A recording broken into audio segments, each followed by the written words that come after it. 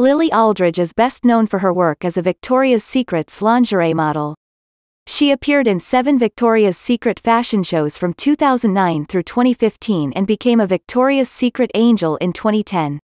Aldridge appeared in the 50th anniversary edition of the Sports Illustrated swimsuit issue in 2014. She has been the face of XOXO and Proactiv since 2014 as well as Velvet Tees since 2004.